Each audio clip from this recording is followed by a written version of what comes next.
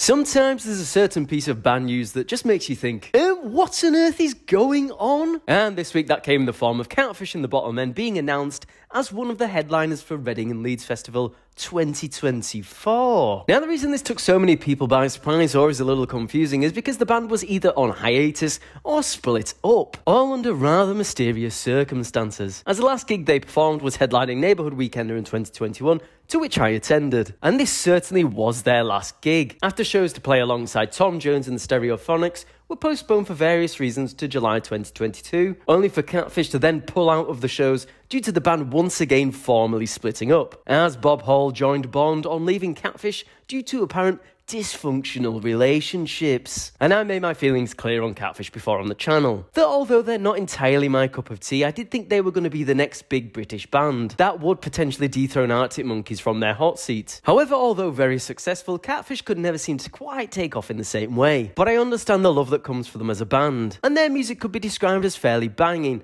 It's just a shame all of it sounds the exact same.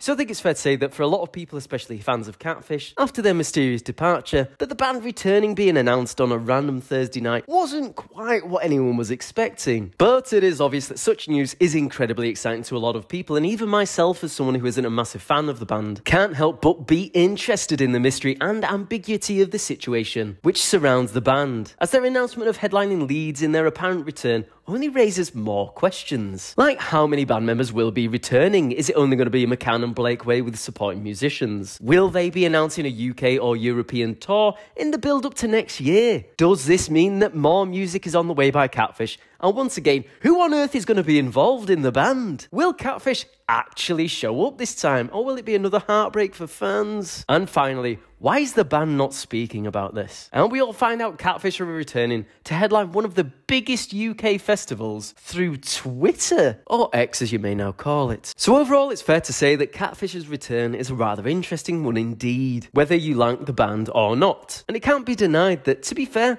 I'll be paying a lot of attention to what shape the band will be taking, which members are coming back, and if they'll be releasing any new music, as the dynamics within the band have certainly been strenuous over the last few years. Or will we be getting a Panic at the Disco situation where only the lead singer comes back? But hey, who knows? Maybe they'll finally prove me right and bridge that gap to become absolutely massive, in the same way Arctic Monkeys did. But till we hear from the band themselves, honestly, who knows? As they're not particularly reliable at this stage, I'd say, but I'm certainly here to see what happens. So do let me know what you think of this situation. If you think the full band is coming back, what kind of music they might be releasing, and if you're a fan of Catfish, why do you like listening to the same songs on repeat for three hours? but as always, if you're new here, feel free to like and subscribe. And on that note, I think I'll say ta for now, and I'll see you later.